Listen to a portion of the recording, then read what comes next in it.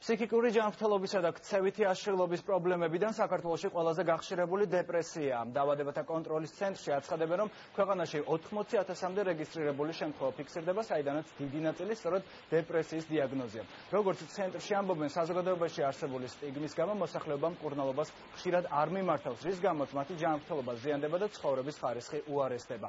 ამ კუთხით ინფორმაციის გავრცელებისა და ცნობიერების ამაღლების მიზნით დაავადებათა კონტროლის ცენტრმა სპეციალური კამპანია დაიწყო, რომელიც სხვადასხვა სხვადასხვა აქტივობას ითვალისწინებს.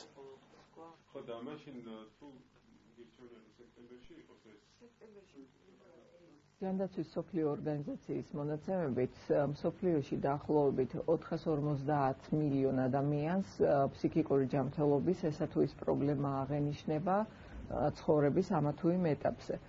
აა საქართველოში დაახლოებით 80000-მდე ადამიანია აღრიცხული, რომელსაც ფსიქიკური და ქცევითი აშლილობები და დარღვევები გამოუვლინდა. აა მათგან უმეტესი არის დეპრესია, ანუ დიაგნოზის მიხედვით შეგვიძლია ვიმშელოთ, რომ დეპრესია არის წამყვანი მიზეზი დღეს არსებული ინფორმაციით საქართველოში. ჩვენ უკვე დავიწყეთ ფსიქიკური ჯანმრთელობის კამპანია სოციალურ მედიაში და ყოველდღიურად ვხედავთ თუ როგორი სტიგმატიზებული არის საზოგადოება და რამხელა ბარიერებს აწყდებიან ისინი.